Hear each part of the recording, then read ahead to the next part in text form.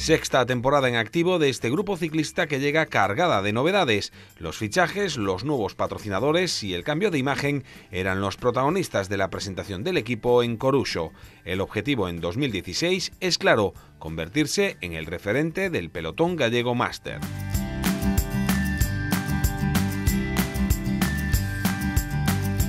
Club con sede en Cangas que iniciaba la temporada subiendo al podium en las cinco primeras competiciones disputadas, entre ellas la prestigiosa Vuelta a Santander.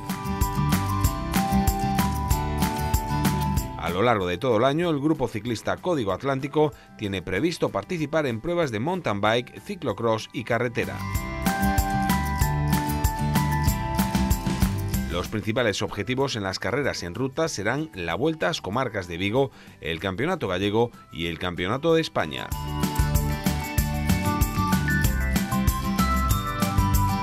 De los 11 corredores que integran el equipo de Morrazo, tan solo 4 se mantienen de la pasada campaña, todos ellos en Master 40, categoría que recibe en 2016 a cuatro nuevos ciclistas. La plantilla se completa con tres nuevas incorporaciones en Master 30.